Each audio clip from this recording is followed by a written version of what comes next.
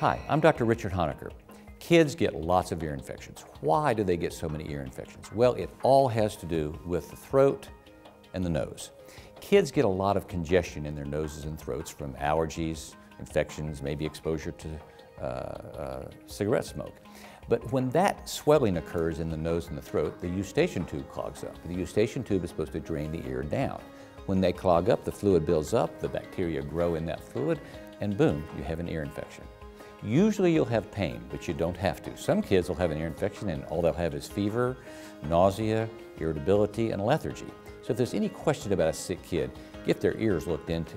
Now, how can you prevent ear infections? Well, first of all, avoid cigarette smoke around them, even secondhand smoke, of course. Uh, also, avoid uh, prolonged congestion. If they get a runny nose or a stopped up nose or a sore throat, get them on some saltwater nose drops and over-the-counter antihistamines and decongestants if they're over three or four years of age, and try to keep them well hydrated so the fluid in their nose and the mucus in the back of their throat is thin, not thick.